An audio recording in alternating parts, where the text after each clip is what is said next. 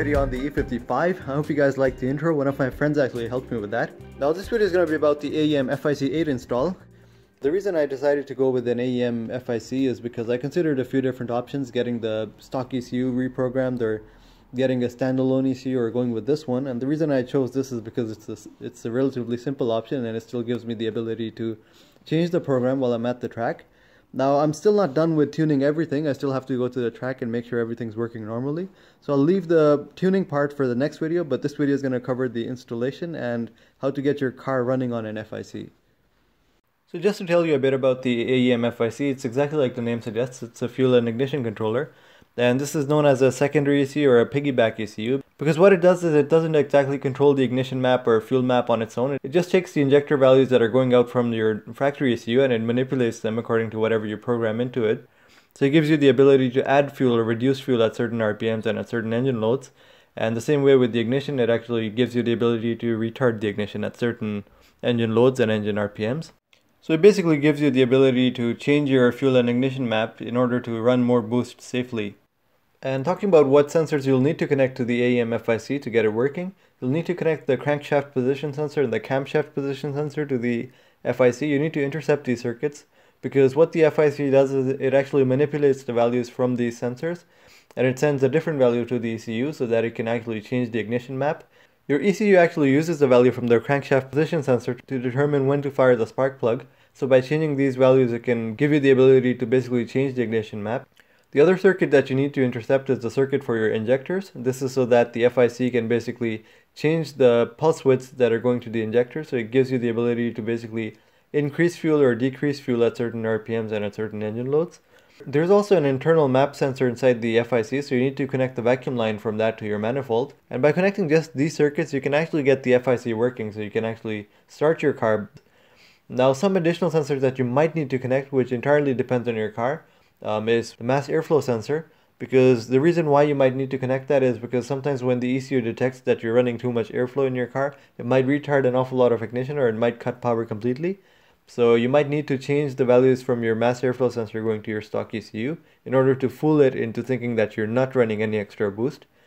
The same way you might also need to tap into the circuit for your manifold pressure sensor um, to fool the ECU into thinking you're not running any additional boost. And you might also need to tap into your O2 sensors, your oxygen sensors, because your engine uses this to actually determine what air fuel ratio you're running, and sometimes it will actually change the air fuel ratio depending on the values of your O2 sensors. So in closed loop mode, it will actually always rely on the O2 sensor and change your air fuel ratios according to that. Now the FIC does actually come with all the instructions and all the wiring diagrams that you'll need to follow on how to connect each sensor and how to um, get the whole thing working. So the first thing you'll need to do, or the first thing I recommend doing when you uh, get the FIC is figure out which wires you actually need to connect because since it's a universal ECU, it's made for many different models.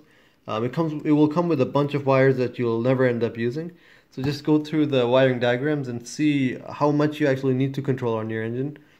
And once you've separated all the wires that you don't need to use, you can simply just um, take them out of the connector I'm just using the spin over here. I just insert it into the uh, connector and then that can that helps me remove the pin. But there's actually a special tool for this that you can get.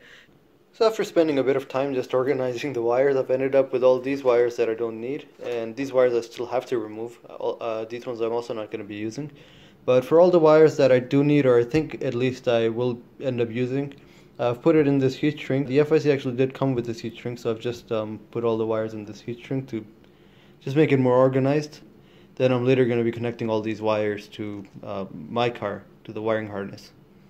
So once you've sorted all the wires, the next step is to find the location of your ECU, your engine control unit, or sometimes it's even called ECM. And for me it was located under this plastic cover in the engine bay, but for some other cars it might even be located inside the car.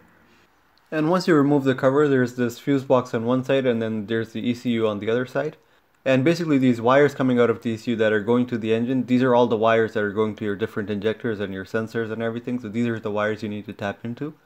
But before you get into tapping any of these wires, I highly recommend disconnecting the negative terminal on your battery and removing these plugs from your ECU because what happens is when you're cutting so many wires and making so many connections, it is easy to make mistakes. So if you connect the wrong wire to power or do something like that, it's easy to damage your ECU. And in fact, even static charge can damage your ECU. So once you have the first connector out, the other two connectors are fairly easy. You just push this tab down, pull this up. This connector comes out. Then you can undo the last connector, which is the same process.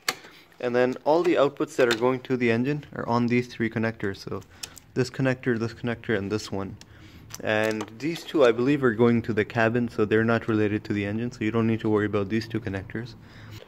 Now, for most cars, you will be able to find the wiring diagram somewhere online, um, where you'll be able to locate which wire actually controls what thing. But the problem for this car is I couldn't find any wiring diagrams online, or even uh, color codes that tell you which color wire does what. Uh, so I had to trace all these wires myself. So I've already traced the crank position sensor and the cam position sensor. The way I did that was I just looked at the colors of which wires were coming from there. And I was able to trace them back here. But the colors for the injectors are not that simple. They're really weird colors and I can't find them here. So what I'll do is I'll just use my multimeter over here. And I'll use a continuity tester to basically um, put one probe in the injector and then trace it back here to the connector because one of these pins would be going to that uh, wire over there. So if I find that pin, then I'll be able to trace the wire and then I'll be able to connect that to my FIC. So now I have the injector rail out because I was changing the injectors to these higher flow injectors and I thought this was a good time to actually probe all the wires to check which injector wire goes where. So I have this wire connected to one of the terminals of the injector plug over there and it's connected to my tester and I'm just uh, going to to my multimeter and I'm just continuity testing it. So I'll just go in this uh, through each pin one by one and hopefully on one of these pins it should beep. And I already found the pin for that one. It was this pin in the corner. And there you go, it beeps on that. So I know that this pin is connected to that injector and then I can trace the wire from here and then I know it's this wire. For the ones that are harder to get to, you can actually disassemble this whole plug, this thing comes out, and then you can actually see the color of which wire goes where and um, just trace all those wires. And for the wires that are harder to get to, I didn't show you this process before, but you can actually disassemble this connector to actually locate the wire. Uh, there's just this little tab over here that you pull back with a small screwdriver. Then you can actually pull this connector out. And then once you have the connector out, you just go to the same pin again, which you, so for me was um, it was this pin over here and then you can actually see which wire that's going to. So that's obviously going to the yellow wire. So I know that my intake air temperature sensor is connected to that yellow wire. And then I'll label this one and connect this to the FIC so that's how I'm tracing all my wires. So now I have all the wires labeled. So all the injectors and all the different sensors I need to connect. So next I just need to do the job of cutting each wire and then um, connecting it to the FIC I know it looks like a lot of wires right now but uh, just work your way with each like just work your way with each wire just one by one. If you just work one by one it's hard to mess up that way. That's why it's easier. I'm going to be using heat shrinks to heat shrinks the wire after and I just have a soldering station over here which I'm going to use to solder all the wires together. So most of the wires were in these two connectors the bigger two connectors that connect to the ECU over there. But only one wire I'm taking from this other connector. This is the wire for the ignition now that's going to power the FIC. Now as an example, let me just show you what I'm doing with the wires over here, how I'm making the connections. So right now I'm just making the connection for injector 1. This is basically the diagram I'm following. So fuel injector from ECU, so this is the wire coming from the ECU. So I have to cut the wire from here in the middle. I have to connect the injector in wire coming from the FIC to this point over here and the injector out wire to the wire that's going to go to the fuel injector. Uh, so I have the two wires over here here's the wire for oh, there's text on one side. Okay so this is injector one out. So that's the wire that's going to go to this side of the wire which is going to the injector. And injector one in is going to go to this side which is going to go to the connector. And I'm going to cut it from the middle. Well I'm going to cut it from the middle first and then make the connections obviously but just to explain to you guys um, that's what I'm going to do so after that I just cut the wires and then connected them to the wires coming from the FIC. And I like using this method where you just fold the end of the wire into a hook and then you have these two hooks that basically just connect to each other. Um, I like this way because you don't need to hold the wire while you're soldering it. So the wire just stays in place and then you can easily solder it there. And then after that just slide a heat shrink on it and then shrink the heat shrink. And once the connection was done and wrapped in heat shrink, this is what it looked like. Okay, so now I've finished all the connections for my injectors. And I think that was really most of the work since I have so many injectors. There's 8 injectors since it's a V8 engine. Now I have to connect the rest of the sensors, which is going to be, um, I'm going to start off with the cam position sensor now, which are these yellow wires. So for the cam position sensor and the crank position sensor, just make sure that you know what type of sensor your car uses because there's two different types. There's a Hall effect sensor and then there's a mag type sensor. And the way to tell is just by looking at the signal. So the a Hall effect sensor will have a square wave like the blue signal on top and a mag type sensor will have a sine wave which is the yellow signal at the bottom. These were actually the signals from my crank position sensor and cam position sensor. So the signal on the top is a cam position sensor, the signal at the bottom is a crank position sensor. Notice how the crank position sensor signal repeats twice in one period of the cam position sensor. That's because the crank actually spins two rotations and the cam only spins one rotation in one engine cycle. And here's a closer look at the crank position sensor. This time the blue signal is the crank position sensor and the yellow signal is the crank position sensor signal coming out of the FIC. I thought it was a good idea to look at both these signals and compare. So the FIC doesn't exactly replicate a perfect sine wave. And in this signal, also notice the phase shift. You can see that the yellow signal has a slight bit of delay. That's because I programmed the 5 degrees ignition retard.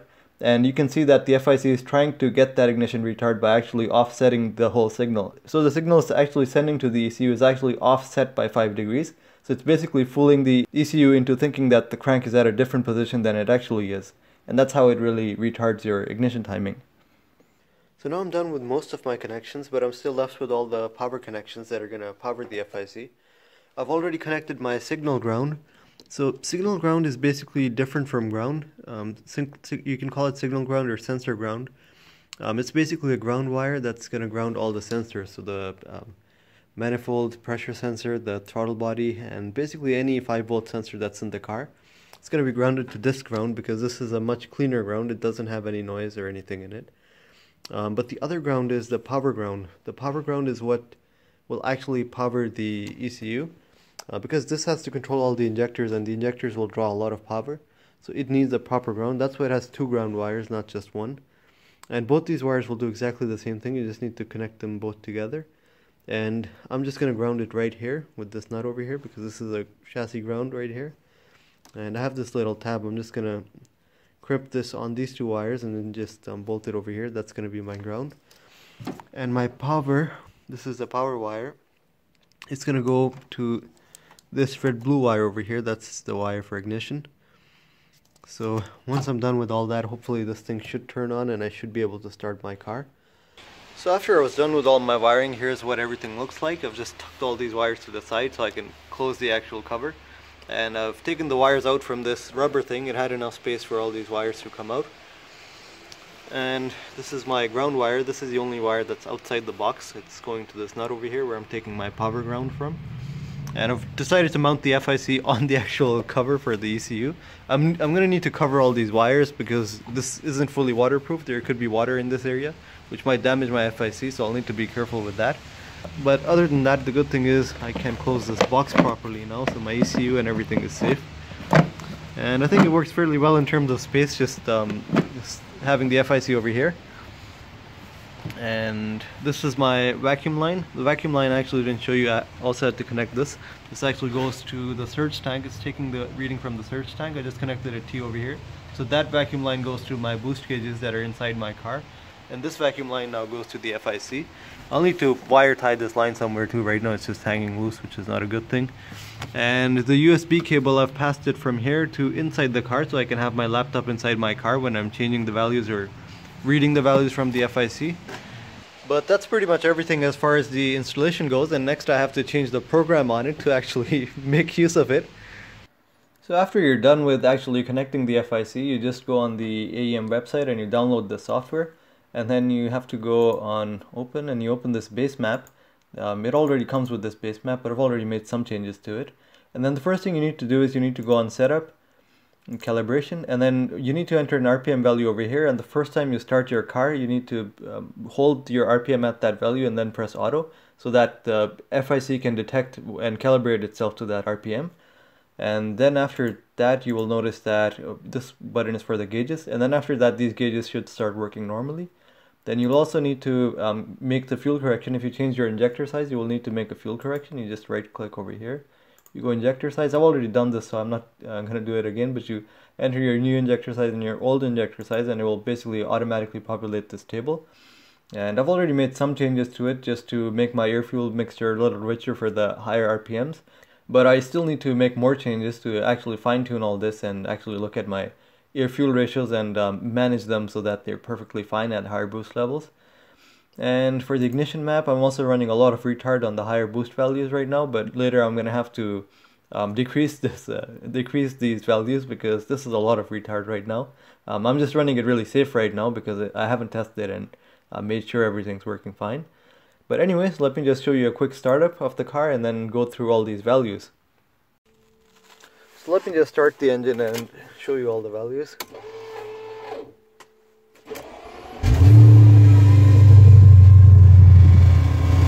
So the load value drops down. This is this load is basically coming this value is coming from the pressure sensor that's inside the FIC. So it's basically a manifold pressure sensor, you can say, a manifold absolute pressure sensor. And these are my injector duty cycles. Right now they're just at 1 and 2 because the engine's at low load. If I rev the engine, they'll go higher up. Analog A, I'm using this input as my manifold pressure sensor. This is the manifold pressure sensor reading that, that the factory manifold has. I'm actually changing that, so analog out, I will actually use this to um, not let my ECU detect that I'm running higher boost levels. I'm gonna stop it around 9 psi or something because after that the stock ECU starts retarding timing an awful lot. Analog B is just an air temperature sensor reading I'm taking from my intake air temperature sensor and that's just to and that's just for safety reasons so in case my intake air temperatures get too high on the track I can do something about it. So, so far the car seems to be running fine, there's no error messages and there's no check engine light. Um, but I'll still need to adjust the upper levels of the map where the uh, where the boost levels actually go above what the stock ECU is designed to handle. I need to fine tune those values because right now I'm just running really safe, I'm running really rich and retarding the timing by an awful lot. And it's also going to be interesting to see how much boost I can get away with on this setup. So yeah, that's all to come for the next part. Um, thanks for watching and I guess you guys will find out whatever happens next.